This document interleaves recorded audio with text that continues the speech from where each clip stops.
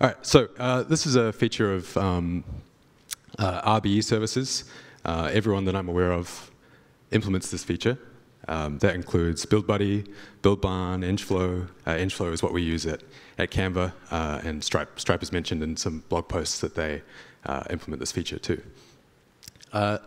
Not everyone calls it deduplication. It's also called um, merging or coalescing. And as I was preparing to give this talk, I kind of regretted my choice to use the most difficult version to say. You know, merging is way easier to say than deduplication. Uh, so the, the, one sentence summary is that this uh, skips extra e execution requests for uh, actions that are already in flight, um, which is kind of a dense way to explain it. So let's, let's uh, walk through some examples. So uh, first, let's see what happens when a user tries to build an action remotely.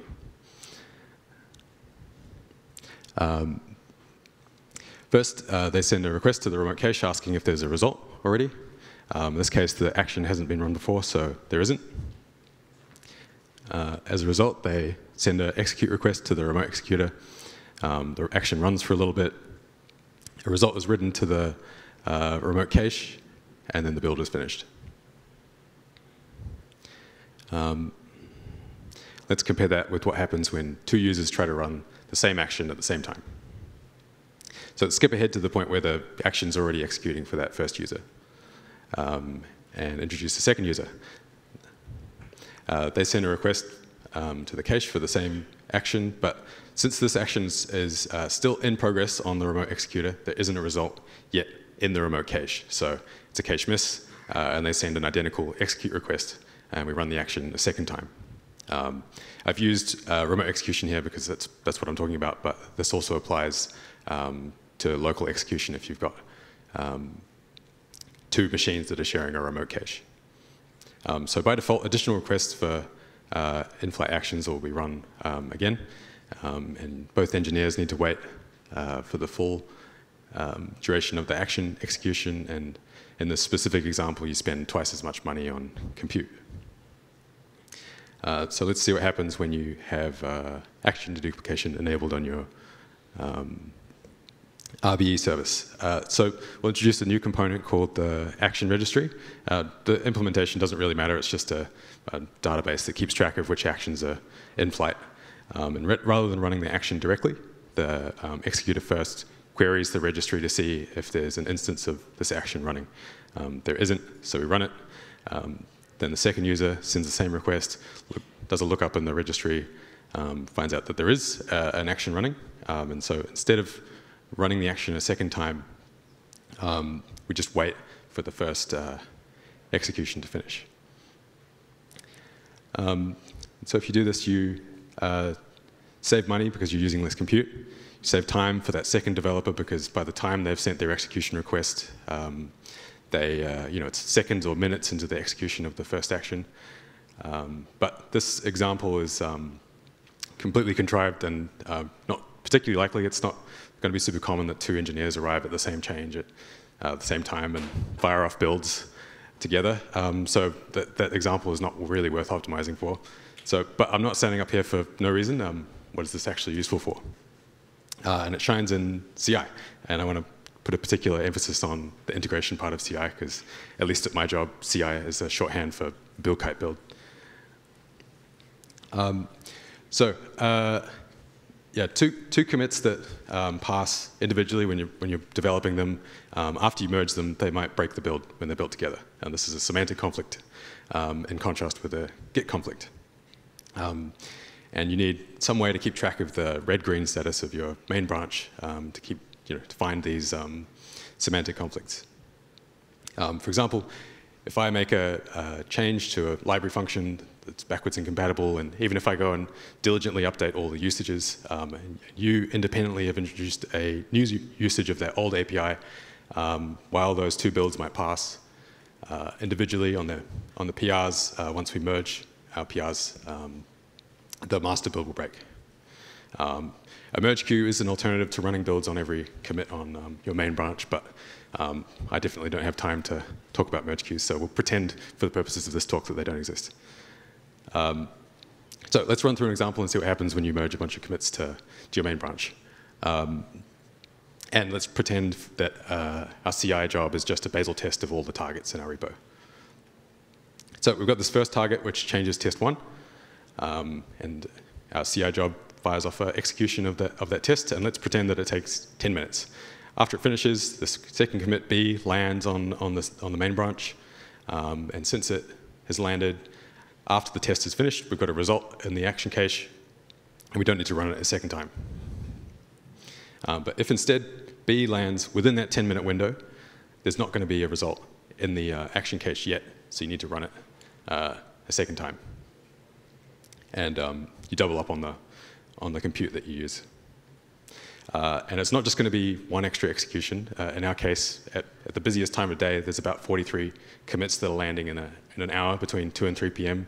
Sydney time. So in a 10-minute window, that can be seven extra executions, um, which is no good. Uh, but if using deduplication, you, you save a bunch of money on compute and um, you save time, especially for the uh, execution requests that arrive later. Uh, so some keen observers will have the will be asking why I'm running all the, the targets in my repo. Why don't I just uh, try to build the targets that have changed? Um, like if each of these commits change a different target, um, why don't I just compare with the previous commit in the main branch and build those targets that pop up? Um, you are free to do this, but I like my sanity, so uh, I don't do this. Um, uh, like imagine if A broke test one and uh, if you, if you were just uh, executing the, the targets that um, had changed in a commit, you'd lose the ability to keep track of the status of, of test one. Like, did the revert work? Uh, did my attempt at a bug fix fix it?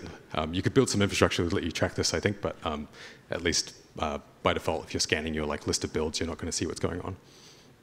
Um, so what you have to do instead is you have to have some like last well-known good commit that passed all the CI jobs and compare your current commit with that last good commit, and you end up in the same situation you have to run the same test over and over again. Um, so even though we're run, executing a subset of the targets in the, in the repo, we still have to run test one a bunch of times because it's going to take some time for that uh, last good commit to uh, update. So yeah, you've, got, you've, only got two options. If you want to stay sane, uh, you can build everything on every commit, which is simple but can be slower, or you can uh, build what's changed um, and uh, that can be faster, but um, it's not necessarily faster. Um, like Bazel diff sometimes isn't, isn't very fast, and it's definitely more complicated. Um, and in both cases, you have to deal with the, the, the like rebuilds. So uh, what results have we had with uh, action deduplication? We were in initially interested because of um, some particularly large Webpack targets that were taking between seven and 10 minutes. And um, via some simulation, we've, we've, we've, figured out that like 66%, two thirds of all of the builds that we were doing of these targets were uh, wasted because we had so many uh, commits landing in that 10 minute window. Um, but in, in practice, it, it's, it's nice, but it actually hasn't been a huge win, like on the order of maybe $10,000 of compute saved a year. Um, the real winner has been the UI tests, which are the tests that run against the output of those Webpack builds. Um, that's because uh, there are thousands of these targets, not, I've said hundreds here, but th really there are only like three Webpack builds that uh, are anywhere near that long. Um, and so with the UI tests, we get about half a million deduplications a day, which is crazy. Um, and if they have an they do have an average runtime of 100 seconds, um, so it's like a year and a half of compute every day that's saved by this feature, um, which is hundreds of thousands of dollars a year in compute that we don't have to uh, rent from AWS. So you and your team, if you're already using RBE, like I said before, everything, everyone implements this feature, so you're probably already using it. Um, if you don't, maybe this is something that you want to uh, take into account if you're weighing up whether or not you should migrate. Uh, particularly if you have a high commit rate, um, you do integrated main builds, or you have a main, uh, merge queue, um, and if you have long-running actions in the multiple minutes. Um, something to be aware of, though, is uh, the behavior of flaky tests if, you, if you're using action deduplication, um, because both failures and successes are amplified. Um, normally, uh, flaky failures are going to be nicely distributed throughout all the builds like this. Um, but if you're using deduplication, they might look a little more like this. Um, they're clustered together because that first failure is the real execution and the ones behind it are, are deduplicated. Um, and so if you're like keeping track of flaky tests uh, and you're alerting based on the hourly flake rate for some test target, um, and you have some alert threshold, normally when someone makes a change that makes the test more flaky, you can just, uh, if it goes beyond the threshold, you can just send them a Slack message, which they can ignore. And um, then uh, instead, if you have deduplication, um, even if the, the, the, underlying flake rate is below your threshold, um, again, this is like an extreme example, just to, but just to illustrate what I mean, um, these clusters are going to, these failures are going to be clustered together and so you end up spamming them. This is something we are always aware of, but it's come up because we're rewriting some detection infrastructure recently. Uh, to be honest, we're not sure how to deal with it yet. Like, do we delay alerts? Uh, do we run stress tests before we send, send uh, messages? But um, if this is something that you've dealt with, uh, come and find me afterwards. I'd love to talk to you. And that's all. Thank you.